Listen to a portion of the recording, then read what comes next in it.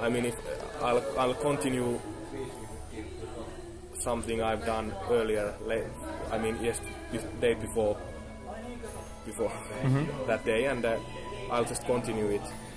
It's easier to continue something. I've noticed that I start a new thing every night, so that when I woke up and when I start working, I already sort of have done it a bit, so that it so that it doesn't feel like I have to start everything from 0 I've noticed it's easier. I get to work mode much faster that way, anyways.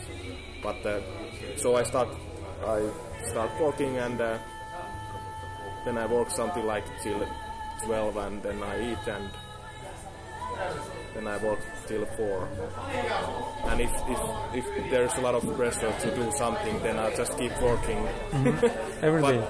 Yeah, but if, if, if I don't have any big project going on, then I, I, I don't. Maybe I'll take the rest of the day off and go to movies or something, see my friends or